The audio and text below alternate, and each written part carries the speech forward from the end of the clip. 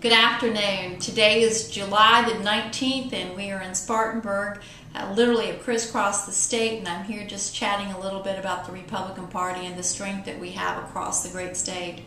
I can tell you last week we were um, in so many different areas, but the one that I want to talk about is Williamsburg. Williamsburg, which is considered one of our predominant Democratic areas, we had a room, it was actually a warehouse filled with Republicans. We had candidates there, and it was a tremendous showing. It reminds us that the Republican Party is in truth very, very strong. Um, during that um, evening, we unveiled our spendometer, and it was a great visual reminder about what liberal spending and what the Democrats have done, not just to the nation, but to our state.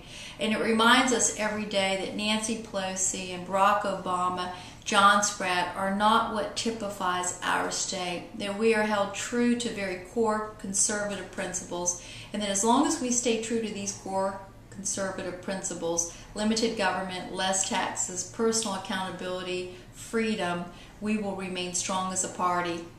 And so my message today is very, very simple. I want to thank you for doing what you do for our great party. Stay the course, remember who and what we are, and I will stay in contact with you all literally until November election, bringing you messages just like this of why we, the Republican Party, will be victorious, not just in these elections, but in elections here to come.